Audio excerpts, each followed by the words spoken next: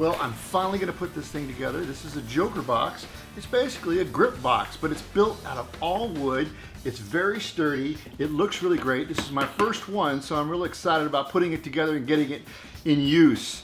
I do have a mess when it comes to my knuckles and my clips and all the other fun stuff that I carry with me in my van, but I think this is going to be a heck of a lot better than say using a you know a milk carton cart kind of thing those plastic things.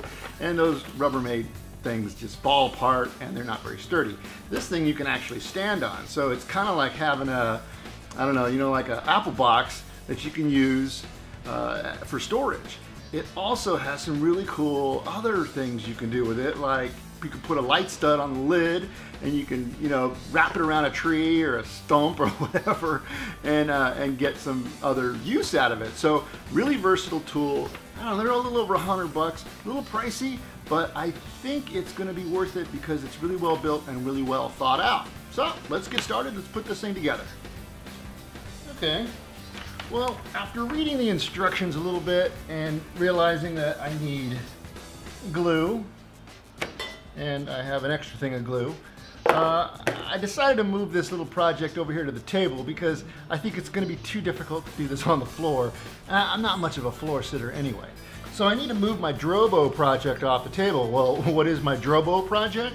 Well, my fan went out on the Drobo and uh, this is actually a third-party fan, but it doesn't have enough speed, so the Drobo was still overheating. So I still have a Drobo heating problem.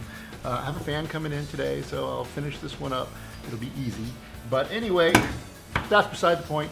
The Drobo stuff has to move so I can get the Joker box on the table so I don't have to break my back putting it together. And it's pretty simple. And actually what's kind of cool about this little project is, well, uh, the Joker box people, they got a video online. It's uh, pretty cool. And I did do a quick check it out kind of thing. Yes, I do read instructions because it requires gluing together. I didn't want to wing it, so I wanted to make sure I was doing it right. Yeah, you don't want to take it apart if it's glued because, well, you're not going to take it apart. You need to use wood glue, and wood glue, well, is going to basically lock this thing down super tight. So that's what we're gonna do. I'm gonna move this Drobo project off the table so I can put together the Joker box. All right, well, here's most of it.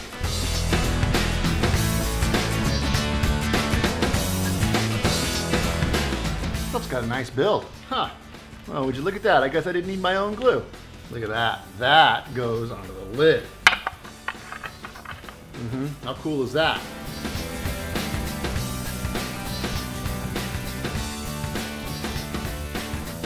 I'll use this from the mat to build it on.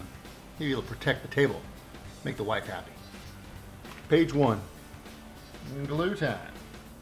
So the first one we're supposed to do here is the bottom, I guess. This is, no, this is one of the sides. This is the long side.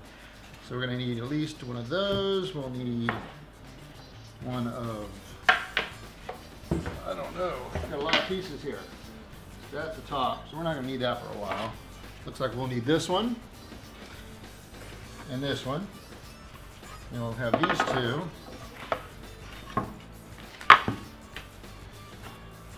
Don't lose the screws. Looks like this. Pretty simple stuff. You know, it's a box, so we're just to apply glue all in these little seams here. See how that works. Alright, here we go.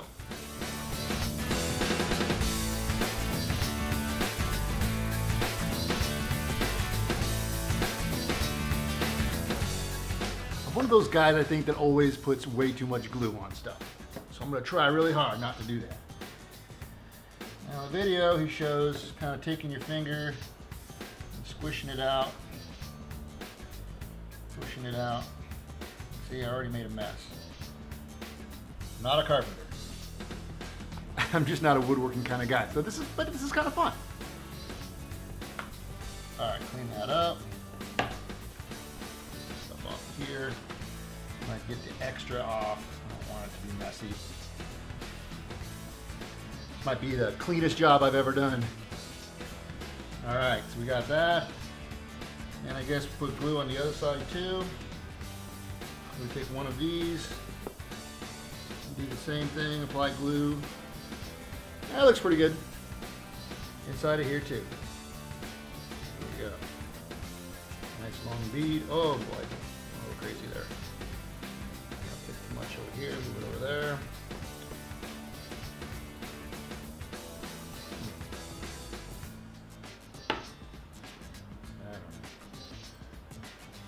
Don't. Want to run out of glue. Pretty easy. So far, so good. Making a mess. Ah, here it goes. That doesn't fit right. Tell I'm doing it wrong. Oh wait. It does fit right. Okay. We got the first piece in. Woohoo!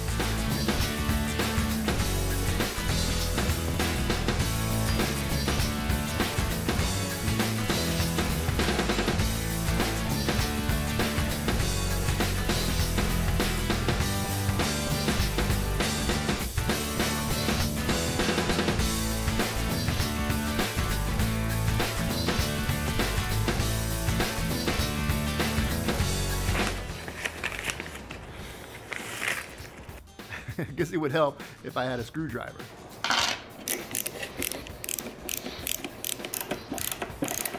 And another. Uh-oh, one extra. well, that's it.